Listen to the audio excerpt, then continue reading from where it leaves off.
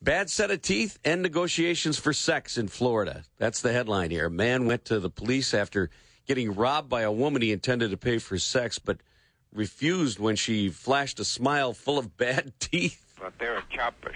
You mean he didn't notice until then? Must have had shapely legs, apparently. I mean, no, my, my, my, There, yeah, there it is. That's what happens when you don't have any teeth. The man told investigators he and a 25 year old woman were negotiating a price until he noticed her dental problems. He told police that after he resisted, she snatched a check checkbook containing $78 from his shirt pocket and fled.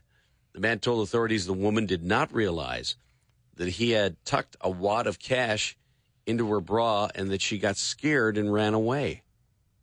The woman was arrested on a robbery charge. Gainesville police are saying it was uh, unlikely the man would face misdemeanor charges for, for solicitation because he was the victim of a felony.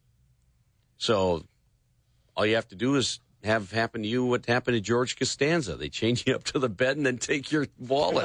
and you're free and clear. Oh, you think that's funny?